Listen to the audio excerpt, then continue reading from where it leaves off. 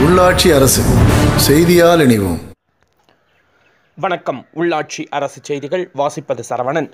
குரு விருச்சிக ராசியிலிருந்து தனுசு ராசிக்கு அதிகாலை மூன்று பதினெட்டு மணிக்கு இடம்பெயர்ந்தார். குரு பகவான் வருடத்திற்கு ஒருமுறை ஒரு ராசியில் இருந்து மற்றொரு ராசிக்கு மாறுவது வழக்கம். இதனால் அவரவர் ராசிக்கேற்ப பலன்கள் ஏற்படும். ஒருவருடைய ஜென்ம ராசியில் இருந்து சஞ்சாரம் செய்யும் பொழுது குரு பகவான் நற்பலன்கள் அளிப்பார் என்பது பொது விதி. அதன் அடிப்படையில் சிவகங்கை மாவட்டம் திருப்பத்தூர் அருகே அமைந்துள்ளது. பிரசித்தி பெற்ற குரு பரிகார தலமான பட்டமங்கலம் தட்சிணாமூர்த்தி திருக்கோவில். இந்த கோவிலில் தனிச்சந்நிதியாக தட்சிணாமூர்த்தி என்று அழைக்கப்படும் குரு பகவான் கிழக்கு நோக்கி அமர்ந்துள்ளார். இந்த கோவிலில் ஒவ்வொரு ஆண்டும் குரு பயிற்சி விழா சிறப்பாக நடைபெறுவது வழக்கம்.